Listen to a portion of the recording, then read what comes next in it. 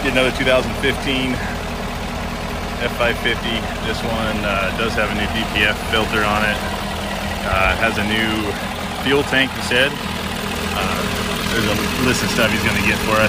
Some of these have uh, crankcase filters uh, are, uh, are bad. This one, I think the same way. It's not, doesn't have any blowback, just that, that crankcase filter. So all these uh, engines seem to be pretty good.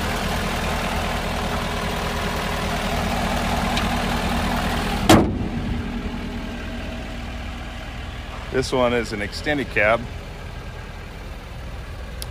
with an 11 foot bed.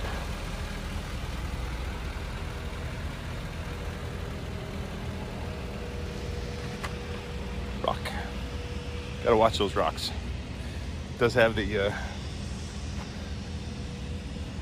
trailer hitch on the back, along with a gooseneck hitch. It is missing a fuel tank, uh, fuel cap for the fuel tank. Tires look uh, look good on it. Toolboxes, LED lights.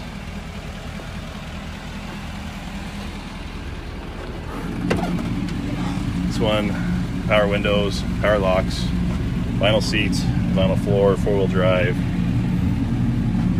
cruise control, upfitter switches.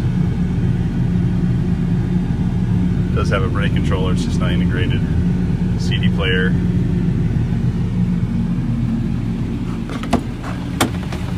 Me in the back seat.